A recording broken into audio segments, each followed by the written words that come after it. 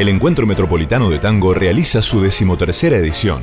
Desde el 11 y hasta el 27 de mayo, el tango se vive a través de milongas, conciertos y actividades en toda la ciudad. Cientos de artistas encarnan el espíritu de este encuentro que en esta oportunidad rememora el centenario de Mi Noche Triste, el primer tango canción.